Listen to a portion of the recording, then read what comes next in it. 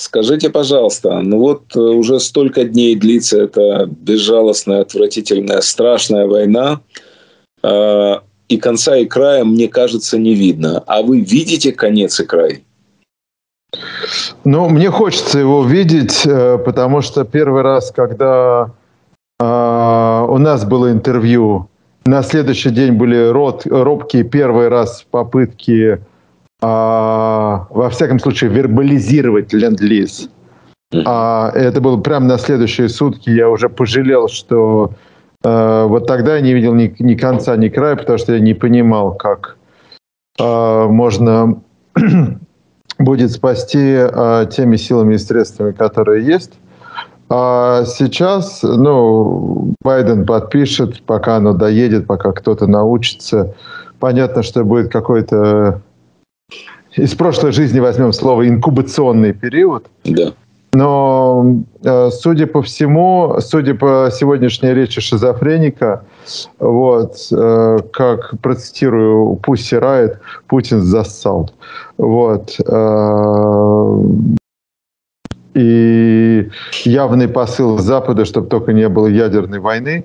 Ну да, и может тяжело будет деньги за нефть и газ качать при ядерной войне. Это это очень сложно. Здесь причинно-следственная связь, видимо, кто-то все-таки деду донес, что одно с другим как-то не очень вяжется.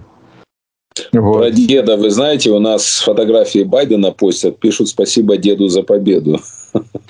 Да, а был бы, конечно, какой-то человек поживее а, и не социалист, может быть, он как-то бы включился пораньше и а, все бы формулировал бы почетче.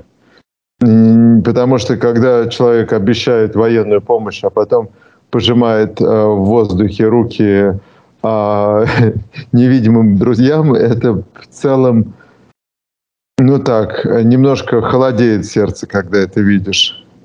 Вот. Э, спасибо ему огромное, но все, все равно надо понимать, что э, старость э, беспомощная и неопрятна как говорит э, моя подруга-одесситка Ника Белоцерковская. Вот. А, конечно, руководить такой большой страной нужно в более молодом и боевом возрасте. И Украина этому прекрасный пример. Вы сказали, Путин зассал. А вы действительно так считаете? Ну, похоже на то, да. Ну, какие ну, вот... у вас есть косвенные признаки? А, сегодняшняя речь, потому что а где самолеты?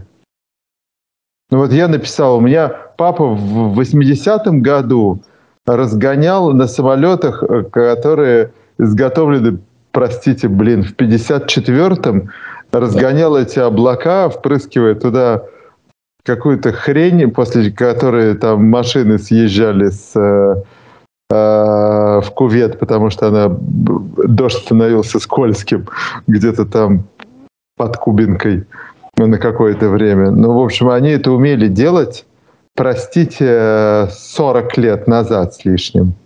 Так и недавно это делали. И недавно это делали. А что сегодня такое помешало? Вот. Э, это все э, признаки признаки, ну, это все параноидальные признаки. А язык жестов, э, там, э, язык жестов на последних встречах, э, то срыв в агрессию, то зажатость. Э, когда спикеры не знают, что точно говорить, какой оттенок повестки, вот, не улавливают. То есть это же как Латынина сказала, это управляется посредством роя, летит свиноматка, пчеломатка, вот, и, и, и остальные рой, и больше всего, естественно, получают трутни. Вот, э, стараются предугадать ее движение, чтобы быть поближе к телу. Вот, и, и вот, а они не предугадывают иногда. А, случаются срывы среди коммерсантов.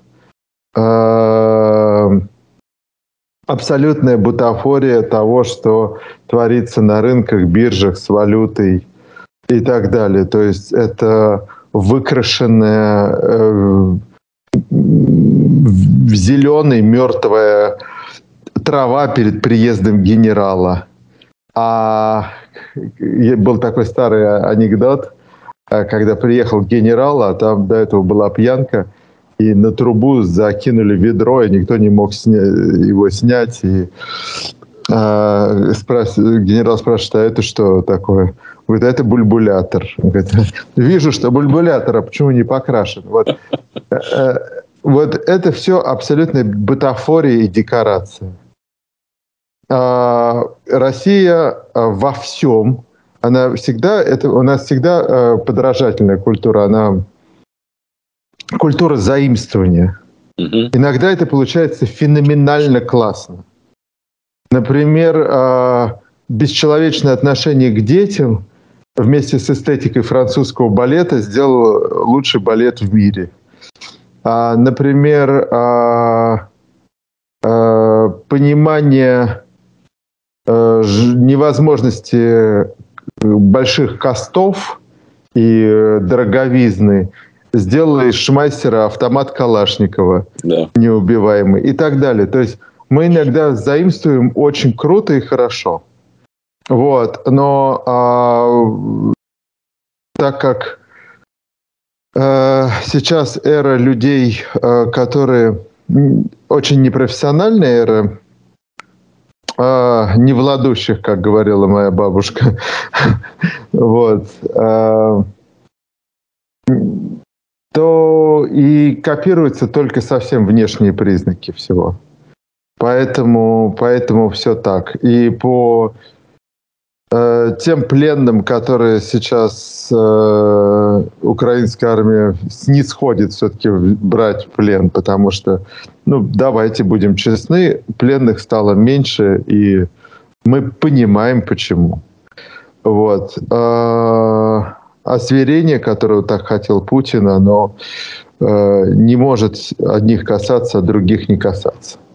Вот. И по тем пленным мы видим, что это люди, простите, моего возраста, с седыми волосами, с гнилыми зубами, для которых 220 тысяч – это просто ну, решение всех проблем на год вперед. Вот, которые, простите меня, из-за своей э, никчемности и алкоголизма, ну, скажем так, член без соли доедали уже который год – и для них это абсолютный выход, а, хоть как-то поправить свое материальное положение. Какие из них вояки? Никакие. Вот. И если будет объявлен призыв, которого многие ожидали, а я не думал, что он будет объявлен, они это делают очень выборочно, без объявления призыва, а по каким-то своим алгоритмам отправляют людям э, эти самые... Повестки. Повестки, да. Причем людям, опять-таки, там 39 лет, 41 года.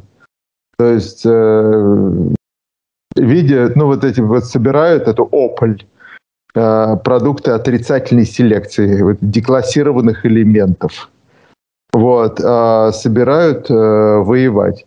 А так как они абсолютно никудышные, а, э, то они и воевать будут так же. То есть следующие там 10, 20 или 30 тысяч, которые собираются отправить в Украину, они никак не похожи ни на а, этих самых э, сирийских вояк, ни на 58-ю армию, которая умеет воевать, э, ни тем более на вагнеровцев.